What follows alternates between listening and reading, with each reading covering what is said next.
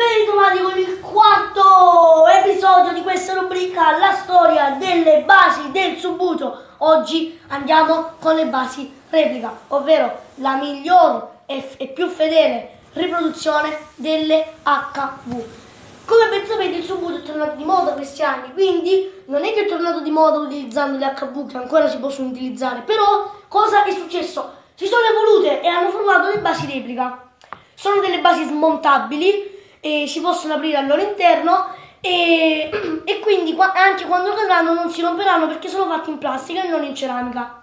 Allora, partiamo dalle Zeugo. Le Zeugo sono una fedele riproduzione degli HV, hanno un ottimo spin, le basi sono molto, diciamo, basculanti, come si, si il linguaggio del subbuto, sono molto basculanti, però lo un, po', un pochettino più alto. Poi vediamo la miglior riproduzione per quanto riguarda le HV, le top spin.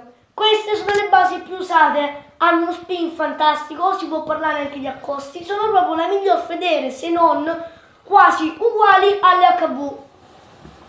Poi sono stati prodotti due tipi, le ACM e le replay, che sono simili alle HV Dux, ovvero le replay, vediamo qua sono un po', le, le, allora, le ACM sono meno usate, infatti sono molto, molto piatte, però comunque si può lo spin non è assicurato né con la CM, con la CM no, non tanto lo spin, invece con le replay neanche, però se sei bravo lo riesci pure a fare.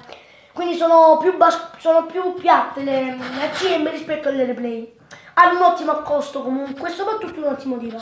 Queste sono le basi replica, sono la miglior fedele delle riproduzioni delle HV in questi anni. Se il video vi è piaciuto, pollicione in su, commentate, poi ci vediamo nel prossimo e nonché ultimo episodio di questa serie. Ciao a tutti!